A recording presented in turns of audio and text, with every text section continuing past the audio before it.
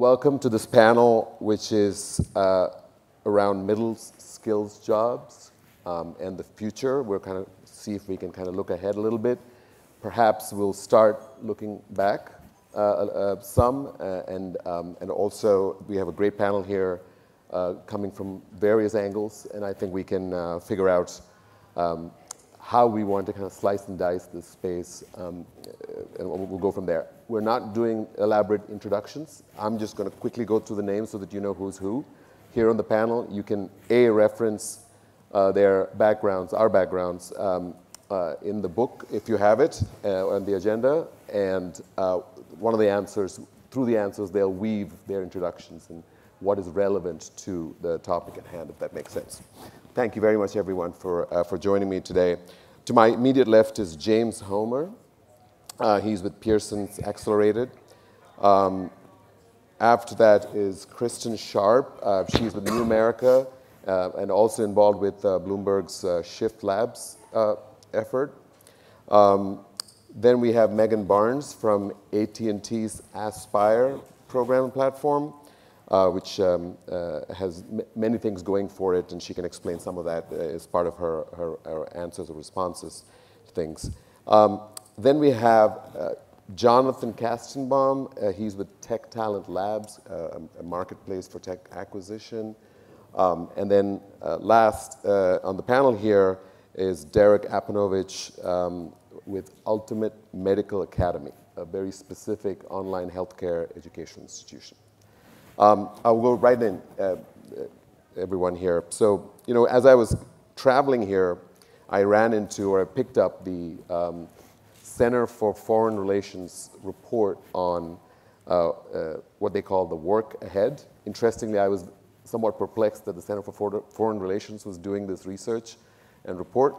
Um, but the topic is the work ahead, machines, skills, and US leadership in the 21st century. And I thought it was uh, very interesting uh, how relevant uh, a, a, lot of the points that it summarized were, were um, in how the US innovation economy uh, had to exploit uh, the promise of new technology, um, need to rebuild links between work opportunity and economic security, uh, why that is a national security issue and also an issue that the G20 across the globe should have to um, uh, consider because there are interdependencies between geographies as well, not just in the US. Um, and then how that translates for us to um, accessible educational options. Um, how do you address displaced workers, uh, augmented intelligence, the gig economy, on and on. It's a fantastic 162 page report if you haven't got to it yet, you should try and chew through that. I've just started, so uh, it's going to take a while. Uh, but one statistic there that struck me that is very, you know, kind of hit really hard was we are, the US, still the second to last in reskilling our workers. Only Mexico is below us in the developed economies. Uh, just a, a statistic that I'm going to start with, and then as I pose my first question, um, out to um, the panel. So I, would like for a definition of the middle skills jobs to, to be established. I know there's a very simplistic definition around um, jobs that require skills that, skills that require more than a higher education but not quite a degree is basically what the technical definition of that is. But uh, um, with your background, A, if you can kind of weave in your perspective on how you view A, what middle skill jobs is, and B, if you can, if, uh, you know, position relative to other skills, why it is, it is imperative for us to focus on middle skill jobs, especially as we look ahead into the innovation economy. Who wants to start first? Kristin, do you want to go? Sure. Uh, thank you for the great introduction, and, and thanks everybody for uh, attending the panel the last day and the last hour of the, uh, of the session. We really appreciate your intrepid attention to detail. Um, so I run the Shift Labs, uh, which is a joint partnership of New America and Bloomberg, which is looking at how automation and artificial intelligence are changing the future of work for workers. Um, we look at partnerships between employers, employees, workers, advocates, CEOs, and, and try to get a perspective across the um, across sectors and how we can create a sense of community vibrancy and how to create um, opportunities for workers in different ways than we have right now. Um, when I think of uh, when I think of the definition of the middle skilled worker or or the one that comes up most in my work, it has to do with jobs and, and ways to earn income that are non-traditional jobs that get people to a middle class lifestyle. And it's, it isn't just a type of work, it isn't just a, you know, working with your hands, having a certain level of education. It's having a pathway and a vision into something that is, is a lifestyle that people, that can support a family and that, that give workers a sense of, of purpose and um, sort of success in their jobs. And I think that one of the things that comes up over and over again in talking to communities across the country is that we, because technology and advanced technology um, platforms are changing the entry points into the workforce so much, nobody knows exactly what that looks like right now. And we have, we have sort of lost the clear, you know, work really hard, buy a house, send your kids to college, this is the pathway into the American dream. Any kind of job can do that, and we need to redefine those um, with jobs that will continue to be here um, in the face of technology. Derek, I'll go back to you, go to you next. Uh, you're obviously in a very specific vertical in, in healthcare. Can you uh, can you see, give us the lens through through your lens as to what how you would define this, what you would look for, and why is it imperative that middle skills jobs have to be discussed and um, and trended? Yeah, sure. Uh, I'm the president of Ultimate Medical Academy. Uh, we're a national uh, online allied health institution. So we just focus on those um, programs that you can teach effectively online. So they're more administrative uh, type programs. And we often look at middle skills jobs as those jobs that pay, say, at least $15 or more. Uh, and that range can be fairly wide. Uh, the lower end of that range could be medical billing and coding jobs. The upper end of that middle skills range could be uh, respiratory therapists or surgical technician type jobs, um, but below nursing um, jobs. And then at the very bottom of that scale would be personal care aides, home health aides. So we're often serving um, students at the bottom end of that scale who want to move up to the middle skill range. Mm. So uh, many of our students have some healthcare experience um, as a personal care aide or a home health aide. So they've been around uh, the healthcare uh, workplace. Uh, they know the different components of it, and they're looking uh, to improve uh, their earning potential, uh, their working conditions, uh, their upward mobility. So that's a big part of the demographic that we serve in healthcare, moving up to that middle skill level. Sounds good. Jonathan, I'll go to you. Just to, we'll just run the spectrum of perspectives. You know, you are more in the talent acquisition space and tools that enable that um, for the enterprise. Can you give your perspective on how you would see this and why is it imperative? Yeah, so I spend my days meeting with early stage uh, emerging talent acquisition technology companies and figuring out how we could arm both job seekers and large enterprise companies with the tools they need to hire the best people. And you know, when you think about uh, middle skill labor, uh, based on the definition, these are generally folks that have a really hard time articulating their skill set to an organization. In some cases, they don't have a resume.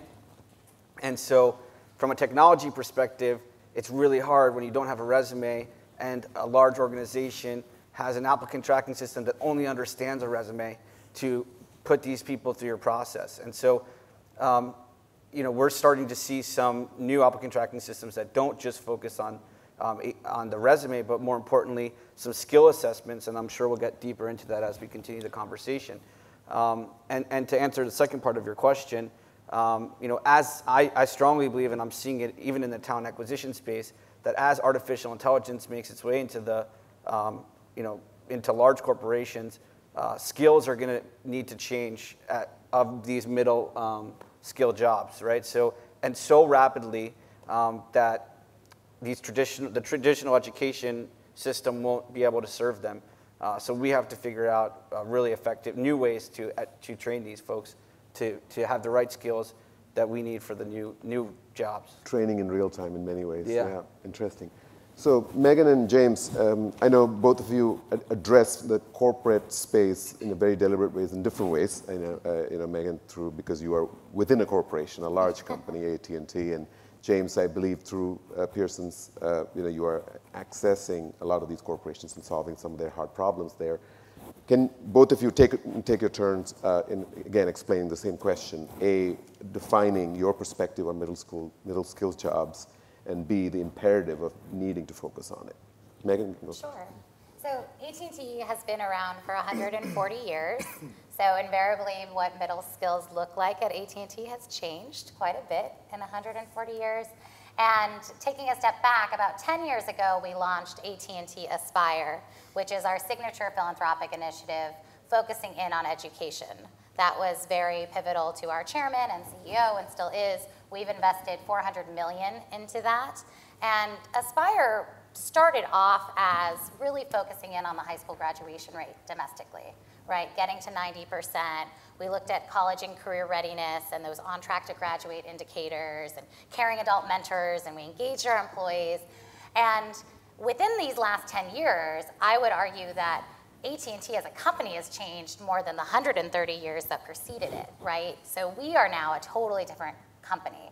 We are not a telecommunications company, we're a technology, media, and telecom, and we are powering a network and we have 250,000 employees. And so it's been interesting to also see how Aspire, our CSR initiative, has evolved in the 10 years as well. We'll still very much care about the soft skills, and that's something that we can talk about a little bit later, and in preparing these opportunity youth or young adults underserved in high school to get into a post-secondary track. But what that looks like and how we are doing that, you know, via credentialing or internships or uh, different views of what we need to do to skill them, has adjusted because we as a company and what we're looking for in our employees has conversely adjusted. James? So yeah, I spend at Pearson Accelerate, I spend a lot of time with employers and we focus on middle skills career pathways. So if you find yourself in a, in a given employer and you are in a middle skills job, what's the next step for you? So we spend a lot of time creating pathways with folks from HR, from operations, from benefits, and all across corporations to, to really understand what kind of future skills are going to be needed uh, and then uh, concurrently, what kind of pathways need to be developed to get those skills developed. Now, from a definition standpoint, I mean, companies look at middle skills jobs even today as a key imperative around business growth or capturing growth opportunities. Um, it, and, and, they can be customer facing, they can be back office, they can be service jobs. Uh, but they require a certain level of soft skills, ability to you know, interact with fellow employees or customers. They have to have certain technical skills to you know, execute certain business functions. And they are, in many cases, for large companies, both in the tech sector and hospitality, the front lines to growth. So as hotel chains uh, have huge capital budgets to build new hotels, there's an army of people they need not only to staff them but to support them as well and those are the jobs they're looking to fill so that, that from my opinion is, is why it's a really really critical conversation to have and it cuts across every industry segment as well Indeed. so because we deal with employees big and small so i'm going to pick up of what you just said about business outcomes uh, in corporates uh, and how they kind of rally around that to figure out what kind of investments they make in any of these spaces including uh, talent. Um, so kind of a trends question because we're focusing on kind of look ahead a little bit. Um, so employers have the opportunity to support these business outcomes. So a good example of, is Lyft, um, for example, recently uh, had a partnership with um, uh, Guild Education, I yep. believe, um, and specifically focused on their drivers and figuring out how they help them uh, kind of just using that as a pattern. Um, I, you know, the question I have is basically, you know, um, Kristin, maybe you, can start again simply because of your work in that space, I think in the on-demand workforce space.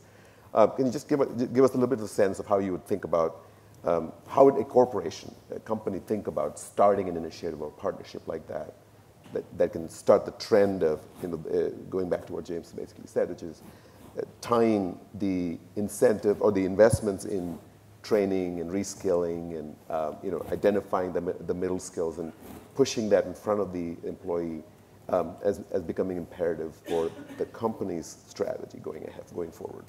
Yeah, so that's an interesting question because um, one of the things that comes up a lot in talking to communities and leaders about the types of jobs that are emerging going forward is that sometimes the and often the defining characteristic of what kinds of jobs will be available in the future are that they're self-directed and self-motivated in some way. They're jobs that the worker, the individual, needs to take responsibility for in terms of finding the, the type of work they want to do, identifying the types of skills or training that will get them there, figuring out how to, to connect with those skills, um, identifying that they're good at those skills, and then proving that to an employer potentially. Yeah. And that's a very hard thing for an employer or an employee and a worker to figure out how to do since our system right now is not constructed around that kind of um, that kind of sort of self-determined approach to work. Um, so I, I, see a lot of times that companies will identify an emerging skill or thing that they have a they don't have enough workers in right now, and will specifically design the curriculum to to attract those workers while building into that curriculum a sense of adaptability and a sense of the worker being able to learn on the job, pivot to something else once they have those skills. Um, the second thing that comes up a lot in terms of what motivates workers to want to get into something new and want to start a new kind of training or pilot program or something like that is that the workers themselves aren't always comfortable with the kind of volatility and lack of economic stability that goes with having to do that kind of stuff yourself. Mm. And so often really like programs that are specifically designed with employers where the employers not guarantee, but say, you know, if you go through our program and if you meet the curriculum that we've designed specifically to fill this type of role, we'll, you know, you're basically guaranteed to get a job. Or, or like, if you meet the criteria, you're very likely to be hired. It's that kind of thing that will make workers take the economic risk of of getting into a new thing when they otherwise might not have tried to, to get into a new role. Excellent. Jonathan, go ahead. I had something to ask Derek, but go ahead.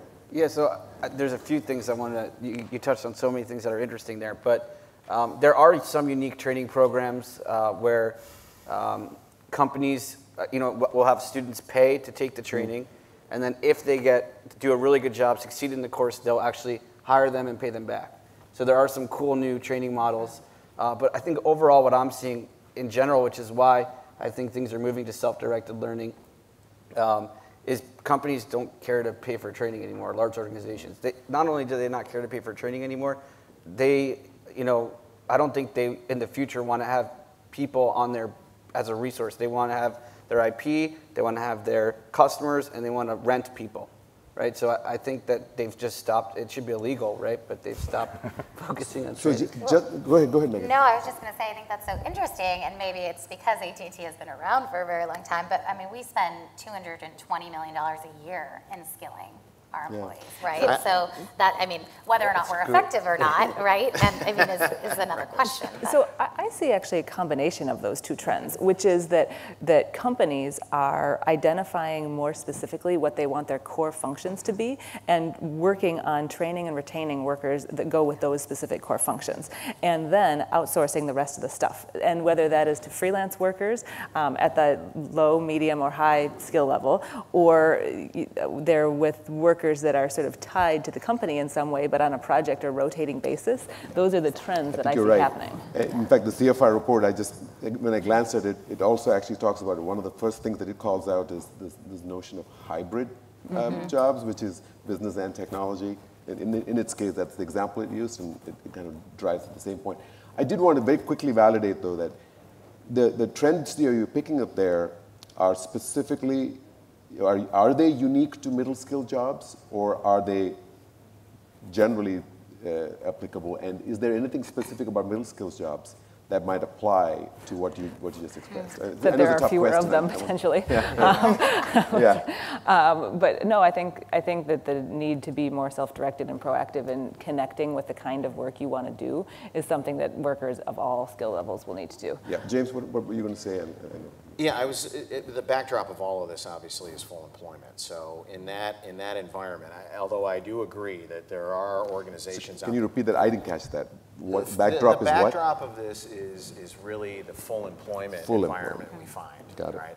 It is, I, when I talk to chief, chief human resource officers, they're very interested in investing in people because it's far less expensive to invest in someone than to go hire someone. So it's a build versus buy argument. So there is the appetite, uh, and I think it's gaining a lot of momentum to invest in, in existing employees to either get them career pathways to accelerate their career or transition them to another element of the company or another skill set that they need as the technologies emerge. Because the, the other backdrop is that companies are investing in as much um, technology as they can to, uh, you know, shorten their expenses on workforce. So there is kind of a push-pull uh, component to this, but I, I see no appetite loss in terms of developing employees from within. And that's a big part of our business is helping, you know, drive, uh, you know, low, low cost pathways to those types of skills. So, So I'll take that point and drive this. You know, you've talked to me a little bit about this. There are other motivations for enterprises to go after. Yes, learning outcomes, but also uh, ROI and operating leverage, cost efficiency, stuff like that. Can you kind of talk Yeah, a little so- bit about some of those drivers in the enterprise that might? Sure. might So we'll focus on healthcare a bit. So uh, there's this trend where nurses and nurse practitioners are doing more work uh, that the doctors have typically done, and, and that really creates a big space underneath the nurses in that that uh, value chain, where the middle skill um, workers are taking on more and more uh, of the load in these healthcare settings, and their jobs are becoming more and more complex uh, because they're becoming more technology enabled. So, uh, analogy that we use uh, when we describe this uh, in our own institution is uh, years ago, medical transcriptionists uh, used to be a very uh, common job. Um, they're disappearing rapidly now due to outsourcing, but primarily technology. And that was once a rote job, it's just transcribing what the doctor said. And that's being replaced um, in some areas by what's called a medical scribe. And that medical scribe is not just taking doctor's notes and putting them into a word processing document. He or she is doing electronic uh, health record entry uh, with complex software systems, uh, doing referrals to other doctors, uh, writing e-prescriptions that are eventually signed by the doctor, doing document management uh, in the healthcare setting. So you think of all that additional work that's being picked up by basically the same type of person that was doing it in the past. So that's where the training really comes into play, where that, that person doing that work needs a, an entirely broader and more diverse skill set than he or she had in the past. And that's where schools like us come into play, uh, or bigger, larger healthcare institutions making those own investments, partnering with folks like Pearson. Uh, what we're seeing, the real challenges um, uh, in the smaller healthcare settings where they don't have the, the time, the sophistication, or the desire uh, to invest in this training. And that's where we see uh, them falling behind a bit because they're not investing in their middle skills employees. Got it. So I'm, going to flip the other side. We talked a little bit about the employers, but the job seekers, and, the, so Jonathan this directed you a little bit, and others can chime in. So this idea of how to help the job seekers recognize that they have to pivot, or they need to pivot, or they want to pivot, and then B, we talked a little bit about this, how they finish the retraining or reskilling and be able to find ways to present that back to the, uh, the employer or uh, another employer to figure out how they can take advantage of that, uh, that reskilling. So can you talk a little bit about both those? Yeah, so, so there are, I think, three different types of skill assessments that exist out there. So there are skill-based assessments. So think like uh, HackerRank, right, where instead of asking if you know how to code JavaScript, you actually can code, right? So it's assessing Yeah. you, um, and that's a much more effective way to see if someone knows how to do something. Um, there's, and those are used both before, you could use that before you uh, apply to a job to assess whether you have the skills necessary to be successful or, you know, as you're applying for a job. There are uh, um, behavioral-based assessments, so these are soft skills. And the trend that we've been seeing is game-based behavioral assessments, so like Pymetrics or Arctic Shores, where uh, you could play a video game basically on your computer, and, and it will shoot out some behavioral skills, you know, your, how risk averse you are, et cetera. Um, those are, are actually, again, sitting at the top of the funnel. So you could play uh, Pymetrics and actually see jobs that you'd be a good fit for. Um, and then there's simulation-based assessments. These are my favorite. Uh, you actually go through a simulation of what the job would be like. So if it's a call center representative, companies like Interviewed or Gap Jumpers will actually put you through what uh, you'll do on the job and assess you and, and actually tell you if you're a good fit. Um, so, so like I said, these could be used as the, by the candidates to test themselves to see where, what um, jobs they should fit into, but also it's used by the organizations to assess these candidates. Um, once you are able to use these systems to understand your skills more effectively, there are what I call resume builders, where you can pump this information into a tool that will design a really fancy resume, sucking in all the information that's relevant to an employer. Yeah, yeah, uh, very good. And then again, uh, just to validate, it sounds like uh, you know these tools, for example, would be applicable to any grade of skills, but would thrive in the middle skill space. Yes. Primarily because they kind of they address the kind of the imperatives that. Yeah, I think that the, the middle skill um, folks have the hardest time um, articulating what Yeah, skills they you have. and that. so that's why these help um, to help you understand what skills you have more, you know, better, and, and also um, the, the organization you're applying to. Excellent. I'll, I have another trends question, and then we'll come back to the ecosystem. I, I, I do want to kind of flesh that out a little bit because of the marketplace background that you have, Jonathan. But so automation, uh, and again, I know I, I'll, I'll start with you again, uh, Kristin, because uh, you've uh, you know kind of come from that background and you continue to um, kind of work there. So the, we, they would like us to believe, they, I don't know who, but uh, would like us to believe that automation is killing jobs. But, but the reality probably is somewhere in the middle, you know, in the sense that, um, yes, some jobs will be killed, but other jobs will be created. There's augmentation, which means there's reskilling and shifting of uh, uh, skill sets that can happen. Um, so while um, uh, that, that might be a precipitating factor, you know, this augmentation, if you will, likely to upend how the demand um, for, for these new skills kind of are, are coming through.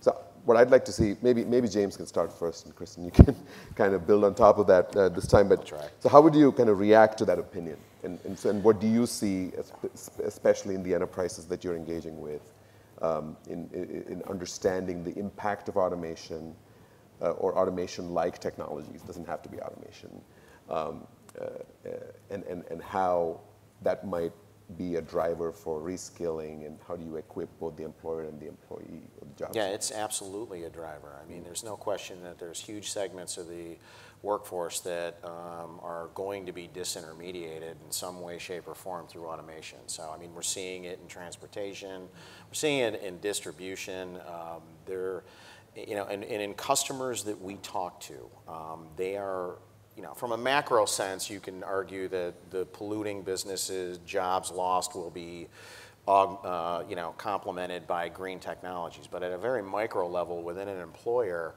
there's an imperative as they make huge investments in automation and other technologies to kind of streamline their business workflow. They do need to reskill the workforce that then is behind that that has to support it. So now, not sitting here saying, and, and employers are saying that all employees will be kept and jobs will be found and everything, because there are macro trends here. But, you know, and a lot of the employers we work with, part of the, the number one job, first job, is identify future skills based on business trends. And how do we get ahead of that and take a very concerted effort? And I think that's where you're seeing a lot of momentum more than ever on employers' parts, partly because they and this is not my opinion, that's, this is a collection of my experiences through them, is that the education system isn't necessarily perfectly geared to support this, these types of business imperatives. So they have to take ownership themselves.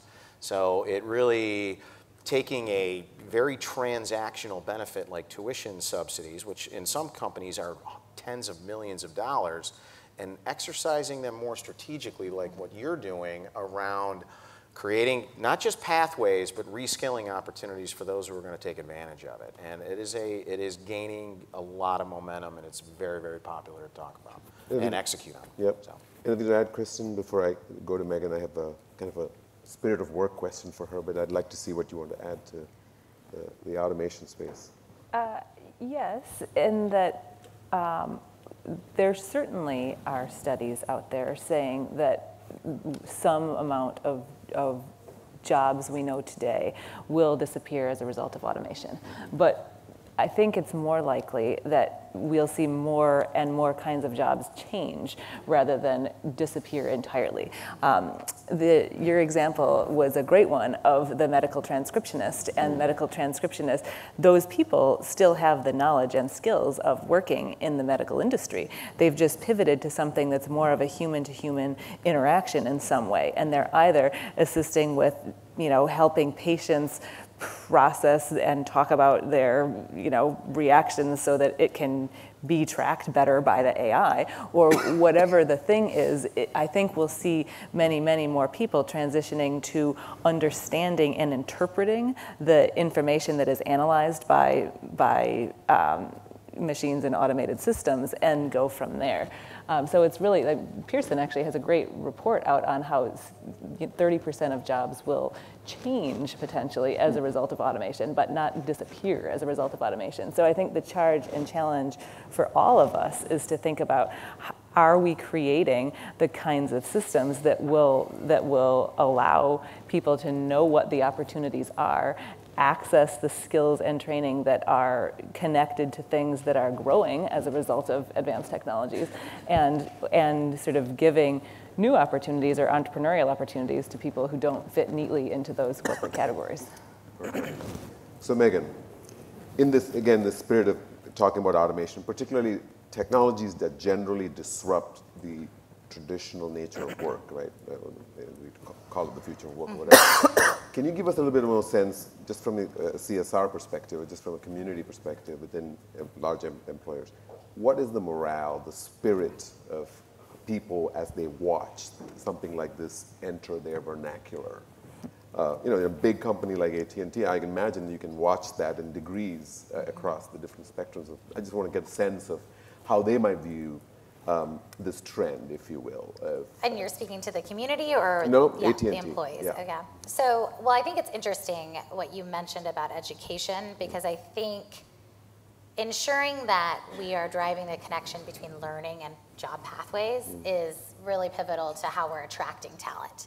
And that's why we fund some of the programs that we do in the community to help teachers that are bound by academia and other constraints to just give tests, et cetera, but overlay this idea that the learning that you're getting in schools is ultimately going to lead to a specific career pathway, mm-hmm. and that can happen in a lot of different ways. But the upskilling and reskilling that happens internally to AT&T right now, which is the bulk of what that 200 million is going towards, is to provide curated in-house hours of trainings that an employee can go in on their own time and develop their own personalized learning experience. But then it's also relationships with Georgia Tech and Udacity. So nano degrees and online masters in computer science and data analytics that those employees can also participate in.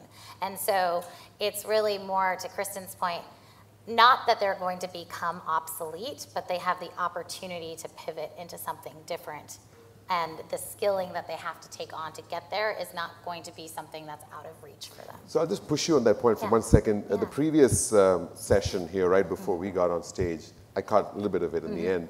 One of the points that they were talking about is, you know, you can't, you know, it's, you know, and Kristin, I think you also alluded a little bit, if there's not enough structure for many of, the majority of the employees in the employee base, they can lose their way in trying to figure out self-directed learning, if you will, right?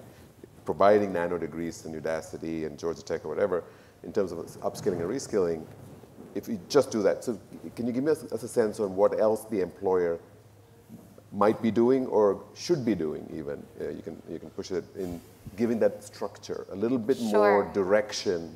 And that was the word I think the, the panel used, is direction uh, into to that uh, self-directed learning exercise. Exactly. It's a lot of leveraging internal existing functionality like employee resource groups, which are very large at AT&T, and leveraging a Women of AT&T and having them come up with this shift program that takes place on an annual basis where everyone is participating in a transformational learning series together with some of their peers. Uh, so, so that's one way. And I also think that on the attraction side, as we're bringing young people in, it's through development programs. You know, it started with a flagship leadership development program that was for all the MBAs, right? But now we have a technology, we have a cybersecurity, we have a retail sales, we have all these other development programs that those that we're using for a pipeline in. So we're managing what's happening in, right now inside, but then we're also figuring out how to maybe mitigate some of that on the front end as well. James, uh, you. Yeah, really quickly. Yeah, uh, and then jump Derek. I mean, one of the one of the things we're experiencing in, in, in companies who are really taking an aggressive approach here is is kind of revisiting and reinvigorating the whole notion of making career pathways extremely transparent, making the the the credentials and or skills that you need to move down that line very transparent, very articulated and aware. But then the backdrop of that is is there an infrastructure in place to satisfy the demand of those who now understand what I need exactly to do to get to that next job or the skip level job? And there's a lot of momentum around, you know, creating a structure and a framework to articulate that. Because if you're right, on a morale side, from an employee, if you don't know what that next step is and you don't know how to get there, life can be fairly bleak if you, you if you if you want to get ahead. The, the next easiest thing might be able to do is to go get a job somewhere else. So any investment along those lines is really a hedge strategy against recruitment and retention. So we're seeing a lot of focus in clients that we work with on revisiting that entire concept, but really putting some, you know, wood behind the arrow to make it happen. Sounds good. Derek, you want to Yeah, say? definitely echo uh, the point on the career pathing. We embed all that in our curriculum. And, uh, and then just maybe a, a slightly different point on, on building confidence. And again, we focus on, on low skill to middle skill in our setting. And, and we find that uh, many of our students may not have had the best mentoring, uh, the best high school experience, the best role modeling. So we feel like we really need to provide that uh, for our students, and, and we invest a lot of time and energy and, and resources on, on building that confidence and motivating the students, and just making sure uh, they believe they can take that next step. They're certainly intellectually capable of it, but many have uh, self-doubts uh, based on their life experiences, and, I think this is critical. Um, you know, those of us in the, the high-skill world, we're always ready to take on a new challenge and and, and climb that next mountain. You know, if, if you're used to a job, you've been in it for years, you're comfortable, even if it isn't the best job, even if it isn't the job you're most excited about, even if it doesn't pay that well, you may have all sorts of fear uh, to move on uh, to something that'll put you in a better uh, situation in life. And that's such a big part, I think, of society helping move folks from that low to middle skill level. Yeah. Kristin? Uh, serendipitously, my comment connects both Derek and James's comments, which is that we haven't talked at all today about any types of pathways of jobs that aren't connected to an existing employer, a corporate employer. And 20 to 30 percent of workers in America today, right now, get at least some portion of their income from a non-traditional source. And so I think we need to really think carefully about the kinds of coaching and mentorship and visible pathways and confidence building for people who want to go into either lifestyle that sort of category of jobs that is human to human enhancing, like fitness or foodie stuff, um, travel and tourism, uh, craft, building things, um, things that are care based, those things, and the freelance world where people are sort of being independent entrepreneurs of one and figuring out what those pathways look like and how to convey that to people, build people's confidence, sort of think through the, the sort of non-traditional approaches to entrepreneurial training is another thing that, that gets lost in the discussion, I think, of when, we're, when we conceptualize all of work as exactly how it is today. And you know, the beauty of that is that's almost completely non-traditional learning that applies in those areas, almost completely. I mean, there's some certification here and there, but uh, you know, those jobs that you just talked about, they're all very, very, very non-traditional. Um, so I'm going to pivot back to uh, kind of a, kind of a marketplace question. Um, uh, around skills, right? So, so Jonathan, um, um, so just an example that came to me is Markle Foundation. They have a program called Skillful. Um, and I, Meghan, I imagine you also probably know a little bit about this, but um, uh, and they've partnered with Microsoft in this case, I think, to uh, create kind of an ecosystem of skills-based marketplace, you know, understanding employers, employees' needs, and Microsoft, because they're embedded in a good chunk of these enterprises in terms of technology, are able to recognize those needs and be able to translate that quickly back to the s- Skillful program. Can you speak a little bit to this, this idea, and the, the, just expand the idea of the, the need for such an ecosystem? And I know you, I can, you can apply it from the talent acquisition side to more the kind of the skill side, but just the understanding of why an ecosystem works, what are the incentives provided to the people who play in it, typically in an ecosystem or a marketplace, how does that typically work, and why would something like this be very successful in the middle school, middle What, you, what do you mean when you say ecosystem? Uh, the marketplace. You know, you have different players. You, you, are, you have folks who, are, who can train. You have folks who can recognize the skill needs. You have, you have folks who can understand when employees are looking to pivot or needing to pivot or wanting to pivot. Sure. like so that, right? first of all, even within one company, so if you look at Hilton, for example, and you look at two bartender jobs at Hilton, Yeah. uh, they're named different things, right? So that's just within one company. Now, when you look at two different companies, there are two roles that require the same skill set, named different things. So just getting the companies around the table and talking about aligning around a taxonomy of skills that could you know be translated across different companies, different industries, it would be a, a start. Then you know obviously layering on the training, you know schools and the other parts of the ecosystem will you know make that ecosystem even more vibrant. But I mean we have a ways to go with just this skills taxonomy. That's an interesting comment. I mean, I heard some interesting stories with some clients that we had talked about in, in the retail and restaurant space where they're within a given geographic, uh, you know, ecosystem, if you will. They're working with competitors and other employers to create job sharing. Hmm. So if you are a waiter at a given restaurant, but you are part-time, can you then go to a potential competitor and fill your vacant time with them? And can they, it, it speaks to this transferable skills and, and some uniform definition of jobs, but, you know, it's getting to that point. That's how short some of these, you know, lower end middle skills positions are. And frankly, it may even, you know, uh, transfer up. So it's some interesting stuff that companies are trying to solve, you know, in the Dallas area alone. It's, it's kind of interesting. Wow. We, uh, I've seen some really hmm. interesting technology around just that. I mean, Right, yeah. Basically, like scheduling tools that, like, all, imagine all the companies in the mall using the same scheduling tool, and then you could get certified at, to work at different companies. So theoretically, you could work Yeah. at four different companies, uh-huh. and you just go in like Uber, say the times you're available to work, and you could f- find the shifts that you want to work. And it could be a cashier because you're certified as a cashier at one company. It could be as a, you know, uh, I don't know all the roles within uh, a retail Yeah. establishment, but um, you know, and, and what that also does is it's making it um, you're as a job seeker, um, your life um, better because before you had to rely on your manager to make your hours, and now you can make your hours. Yeah, and That's it goes to the point that Kristin also pointed about economic security, right? Mm-hmm. You, you, you suddenly have a lot more control that basically says, I can do all these different things, and I am plotting what, what the definition of the, or the threshold of my economic security is, right? Yeah, so I've seen that. I've seen companies that do that in the um, in the retail and restaurant space, and then I've seen companies that do it in the um, warehouse and manufacturing space.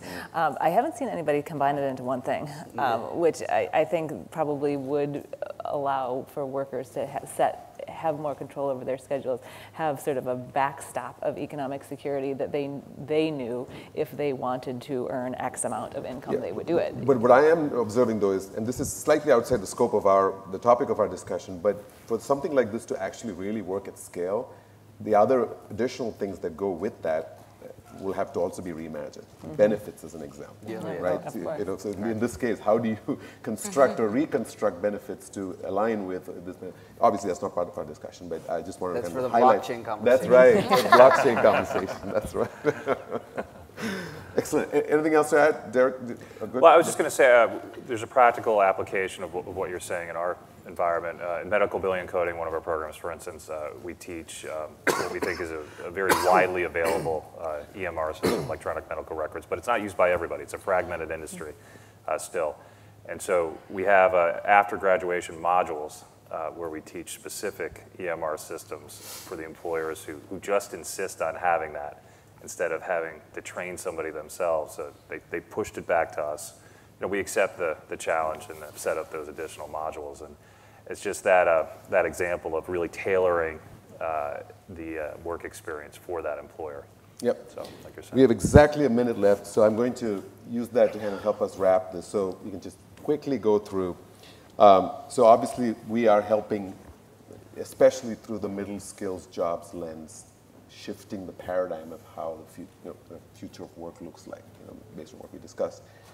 Can you um, say how middle skills enable individuals to personalize how they assemble their work? And I think we touched a little bit on this previous answer. Uh, but I want to be able to correlate that to the economic stability and security of the, that individual as well. You can use that question to wrap up or add any point that you want to, that you think we didn't discuss today at all on the, on the topic. Derek, you want to go first? Yeah, in, in terms of that uh, personalization, I, I think you know, what we see in, in our setting is folks coming back to us uh, sometimes years after they leave to get that additional training. Uh, we leave our learning management system, our LMS, open indefinitely for students to come back and get uh, retraining on topics that are very important uh, in their field. Uh, we have an alumni team that helps students get uh, not just the first job, but the second job. So it's that constant support and that building of confidence that, that we find so important uh, in the middle skills arena. Meghan, go ahead.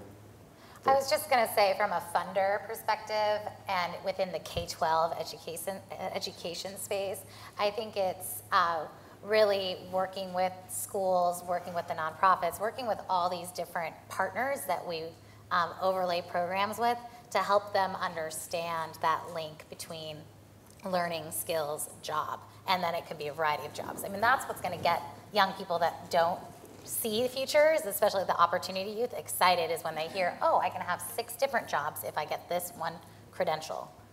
James?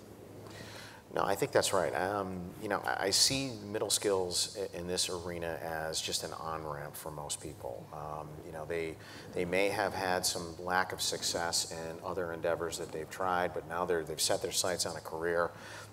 And to the extent we can help them connect the dots on that career and then allow them to create and allow them to pursue their personal path, I think is, is, is what this is all about. So. Quickly, Jonathan and Kristin, you're going to split. Have you already over time, but go ahead. You can go first. So briefest possible way is we just need to stop talking about it in terms of finding a job and start talking about it as helping people connect with work or create the kind of work they want to do. Yeah, uh, just sum up that what, basically what everyone said. Skills needed for jobs, for middle skill jobs, are going to change significantly. Uh, it- it's cheaper to uh, to in, to retrain than to hire from the, the ground up. You all should be training. I can't believe that that uh, companies no longer uh, want to train, and uh, we have an exciting future ahead. Excellent. Thank you very much. And I'm sorry you're out of time, but appreciate it.